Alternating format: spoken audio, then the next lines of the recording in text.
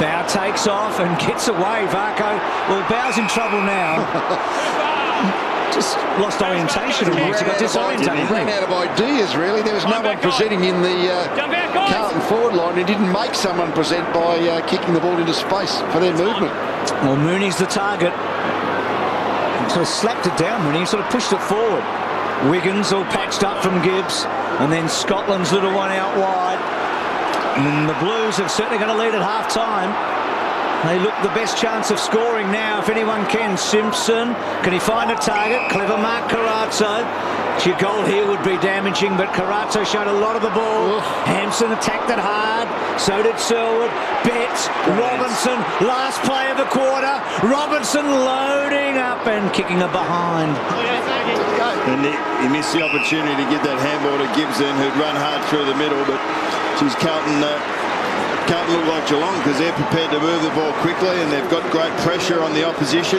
But uh, the shoes definitely uh, and the advantage definitely with Carlton. They've, uh, they've put all the pressure on the Cats. Half time here, 13 point margin, 7 7 to 5 6.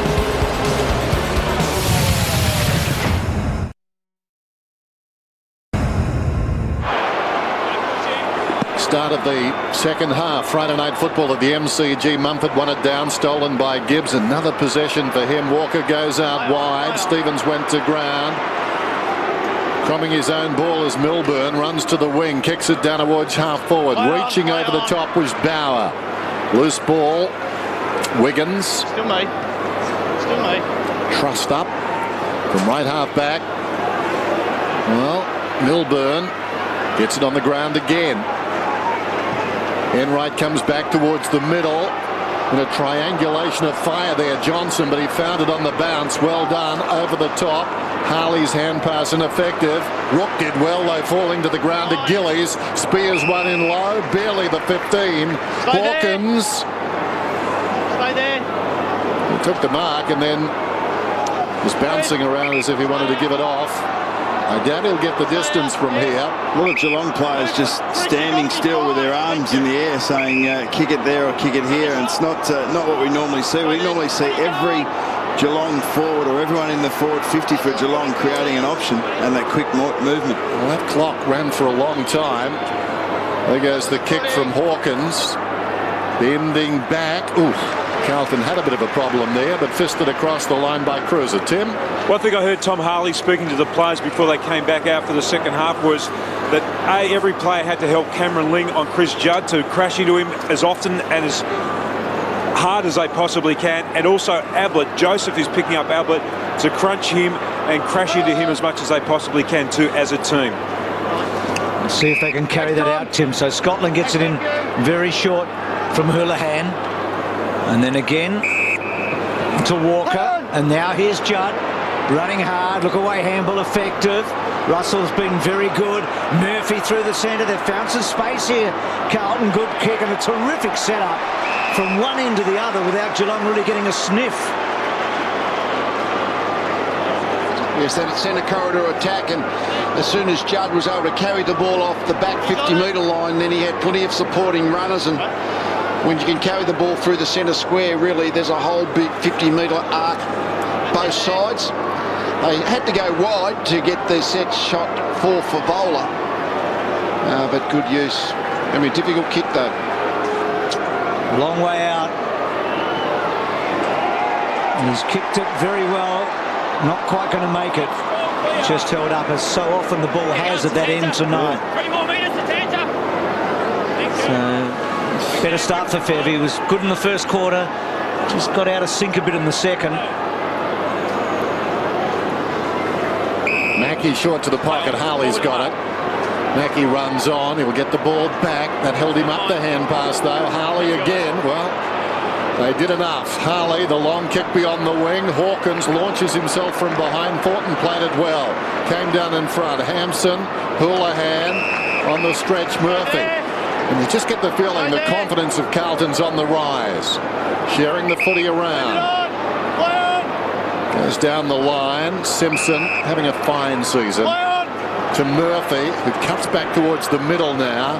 Sets it up from behind Milburn. Well, it fell in front.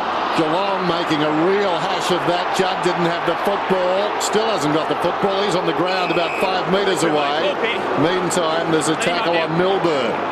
Lack of talking by those Geelong defenders. Wojcinski coming up from the rooms.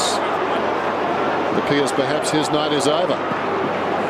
Mumford, will he get to the contest? No, Hampson. Well, next best thing. Mumford dragged down.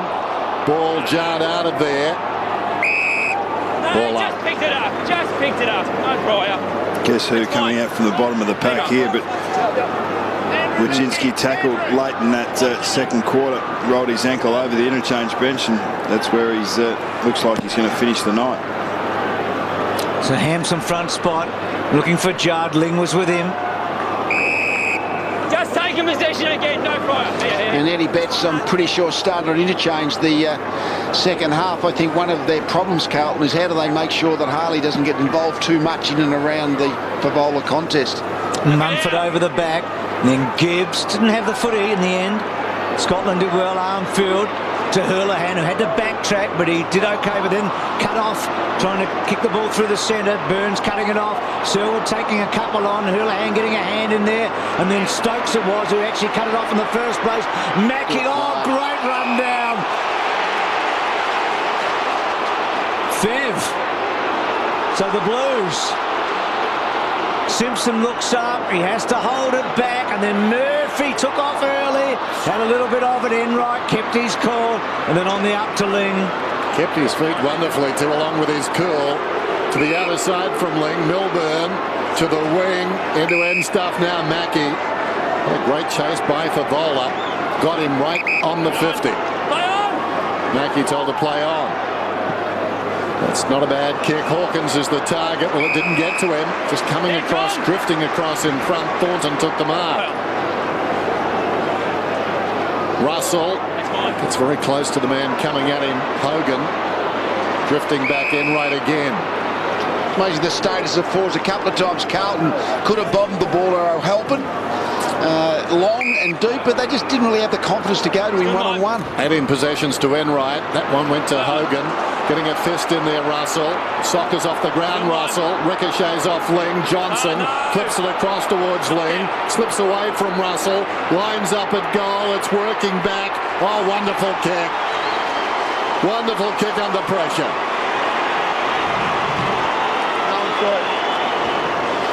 We know Stephen Johnson came into the game with an, under an injury cloud, but uh, Jordan Russell's done a fantastic job on him.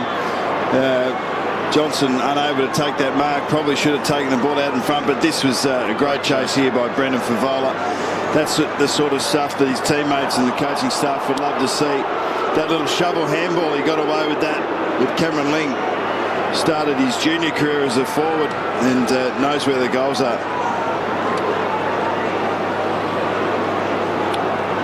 Just saw the big chase from Fev running Mackie down. And then um, Johnson's slippery, sly handball. Mm.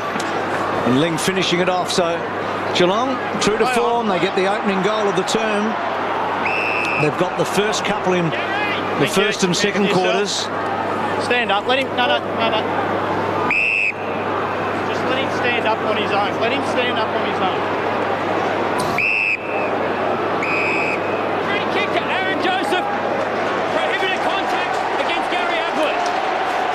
Told you in the week that umpires would be looking for bumping and pushing players a long way from the footy. I haven't seen many. High tackle. High tackle. Go, go, go, Cameron. Wow. Why he did that, I'm not sure. Judd, a needle eye opening. Mine, mine. Earned the kick as it comes down towards half forward. Giving a contest Fevola. Crumbing it Russell. Hand pass O'hAilpin. For Vola falling to the ground. It was a clever kick indeed. Simpson's taken the mark. Not the best angle for a left footer. Come back here. Fev's down. He's there. Didn't see what He's happened there. to him. Tommy, Tommy, there, stay with me.